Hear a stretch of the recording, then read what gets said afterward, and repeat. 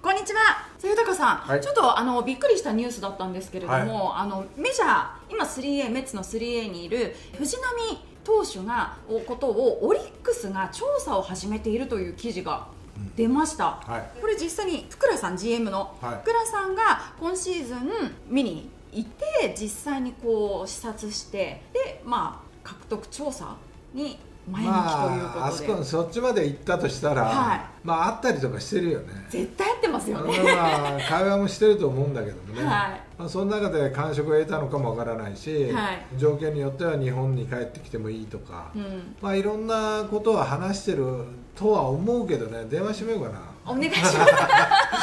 いやいや本当に。うん。う。んだけどやっぱオリックスの先発もそうだけども中継ぎもはいね軒並み怪我人が出てそうなんです。それが枚数が足りないとか数がいないとか、はいまあ、いいピッチャーはたくさんいるんだけども、投げれる状態にないってなればね、はい。やっぱ藤浪とか、いやっぱ魅力は感じるよね。ですよね。あの今シーズンのそのオリックスの投手陣、リーグ2位のチーム防御率の2.82を記録するものの、やっぱり先発でいうと宮城投手、山下俊平太投手、東投手、それからな救援陣になると平野投手、山崎総一郎投手、宇田川投手、小北投手、山岡投手ら3連覇を支えた面々に離脱者続出ということで、やっぱり足りなかったんですよね、今年は。まあ、山岡が最後ねちょっと戻ってきたけども、うん。はい。それだけじゃ足りないもんね。もちろんですもちろんです。だからまあもちろんその怪我っていうのはね3連覇を支えた面々、うん。本当にしっかり投げてたけども、まあ、その金属疲労が来たというね、まあ、今年だったけどもね、うん。まあ、来年になったらある程度揃うとは思うけども、はい。でもより強固にするためには、まあ、藤原の力が必要かなっていうふうには思ったんじゃないの、ですよね、うん。でその藤浪投手は今シーズン7月の終わりにメッツ自由契約を選ばずに残留ということを示しているのでということはこれはどうなんでしょうね？意思的にはまだメジャーでメジャーというかまあそれはもちろんそのその時点でははい。メジャーをどういうふうに狙っていけばいいかっていうことは考えながら契約をしていくよねはいだからその時点で選んだのはそこにチャンスが生まれるっていうふうに考えたから、うんまあ、そういう契約をしたと思うんだけどもね、はいでもそれも全く夢は叶ってないというね。そうなんです。あの藤浪投手、今シーズンはメジャーの登板がないまま終了しました、うん。でマイナーで計4球団で33試合に登板して1勝2敗の1セーブ。防御率う5.94と。ただ、右肩痛から状態が良くなってきた8月は8試合で12イニングを投げてチームトップの防御率1.50を記録とおいう数字を残しているので、まあ、状態は今はそんな悪いわけではないのかなという感じもしますけれどだからまあ成績だけを見るとね、うん。物足りないし、はい。でもじゃあ外国人だとしてそういうピッチャーを取るかっていうと取らないよね、はい。ただやっぱこう色をつけてるのは日本の実績というか、うん。あと人気とね、はいえーそういうところに目をつけてるというかね、まあ、そういうことなんだろうけども、まあ、悪い補強にはならないし、はい。まあ、藤浪も戻ってくる気があるんであればね、うん。あの戻ってきてもいいとは思うけども。そうですね、ただ新庄監督に あの藤浪からねうん。あの監督僕どうですかって言ったら、動いてくれそうな気はするけどね。あの元々日本ハムが良ければね。そうですよね。新庄監督はあの藤浪投手をもう一度こう再生させたい再生できるっていうふうに自分のところに来てくれればってまあ、話してたので、なんだかんだってね、やっぱ阪神出身のはい。選手って気になるんだよ、苦労してたら。でましてやその阪神からメジャーに行ったって言ったら自分との境遇一緒じゃない、はい。やっぱ気になるんだよ、うん。だから手を差し伸べてあげたいっていうねそういう優しさも新庄監督があるから、うん。まあオリックスでもいいしオリックスってあれだけ優秀なピッチャーがいるから、そうですね。それはやっぱりいい教え方もしてるんだろうし、うん。飛び込んで見るのもよし。うん。でもやっぱこう新庄監督のはい。気持ちに飛び込んでみる、うん。まあ、そういうこともありだなとは思うけど。ね。多分新庄監督がそこまで言うということはもう頭の中に藤浪投手はこうしてこうしてこうすればもっと輝けるっていう多分プランがあるんでしょうね頭の中に。まあそれか、うんやっぱ新庄監督は使う度胸が座ってるよ。はい。だからどういう場面で使えば開花していくっていうのも、まあそれは考えてると思う。うんそれと何を言葉にすればいいのかっていうことも考えてると思うけども、まずはやっぱ使う度胸があるよね。はい。ブルペンであ大荒れ荒れたとしても、やっぱ実戦だとわからないっていうふうに、うん。チャンスを見出してくれる人だから、はい。まあ、飛び込んでみるのも面白いなと思うよ。もし日本にね帰ってくる気があるんであればね、そうですよね、あとはオリックスでいうとやっぱりファンとしては森選手とのその大阪桐蔭コンビがまた見られるっていうのが一つ話題になっていて森友哉選手の、まあなはい。でももうそこじゃないだろ うもう必死だと思うよ。まあ懐かしいっていう気持ちはね、うん。皆さん持ってると思うし、まあ、ましてやその大阪の球団だからさ。だかはらそれは強いって思うけど、うんでも本人同士たちはもうそんなんで左右されたくないしい多分そうですね。で森も別に受けたい受けたくないよって どこ来るかわからないんでしょみたいな。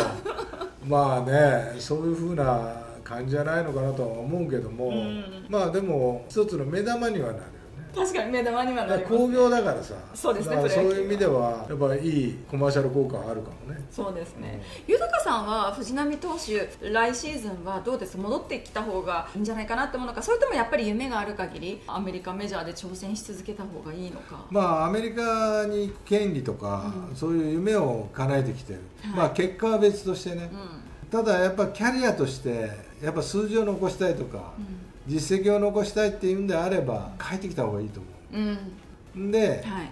菅野がねはい。今年36の年か。今年5か。35ですね。はい。の年に行くように今30でしょ？はい。だから一回帰ってきて3年間みっちりさ、日本の野球にやってもう一回。うん。もう一回挑戦するっていうことはありだよね。それもそうですね。だと思うんだよ俺はね、だから、まあ、そんなにメジャーメジャーって言わないで一回見ただろうから、うん。まあ、そこで勉強したこともあるだろうしそれをやっぱり日本で試すことも必要なことなのかなっていうふうには思うけどもね。そうですよね。そういう選択肢も一つにあるっていうこあとですよね。ただその福良 GM が視察で見に行ってたっていうのは例えば投手を立て直すんであれば若手の育成とかトレードだったりとか取ってくる。そこに藤浪選手に目をつけたっていうのはどういったことからなんでしょうね。まあ、たまたまうん。外国人を見に行って、まあ、たまたまではないけどそこに藤浪が近くにいたっていう。うん、それをまた見に行ったという。記事？だと俺は思うんだよ。あ藤浪だけは見に行かないと思うよ。ーはい。じゃあ他の外国人投手。藤浪は見なくたってある程度の力を分かってるから、まあそうですよね。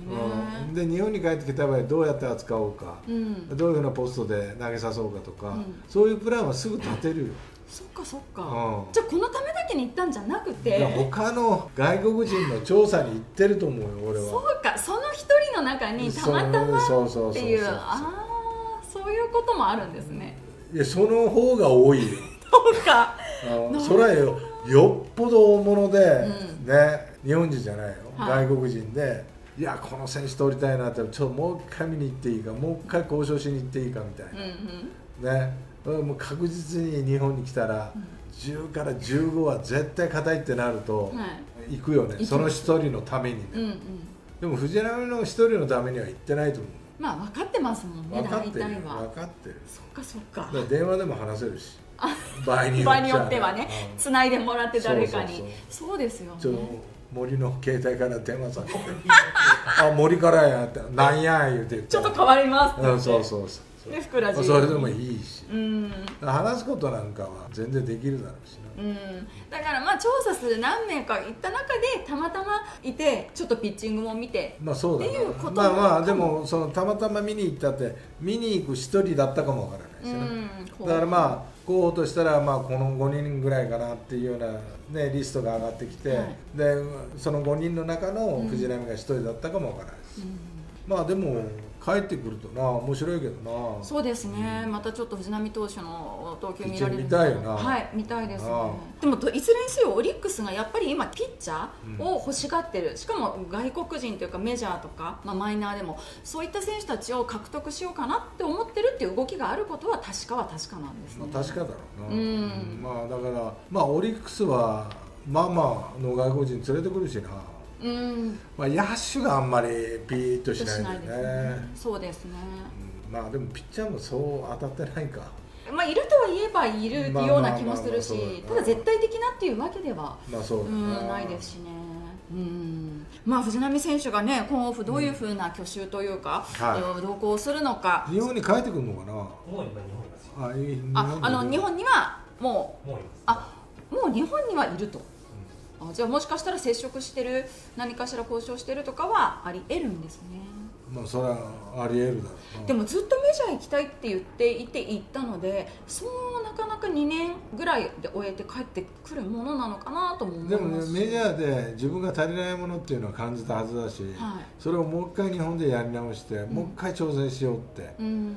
いうことはできると思うよね、うん。だから3年間だけやらせてくださいって一生懸命はい。で3年後にはまたメジャーに挑戦したいと。うんいう旨をしっかり伝えとけばねそうまあ、目標にもなるし、うん、うんね。まあ、有言実行ということはい。で、ね、夢叶うかもわからないし。そうですね。なので来年その藤波選手がアメリカでやってるのかもしくは日本球界に戻ってきてどこかまあの、はい、チームでやっているのか、はい。これもね動きがあると思うのでちょっと注目していきたいなとまあ思います、そうだね。はい。はい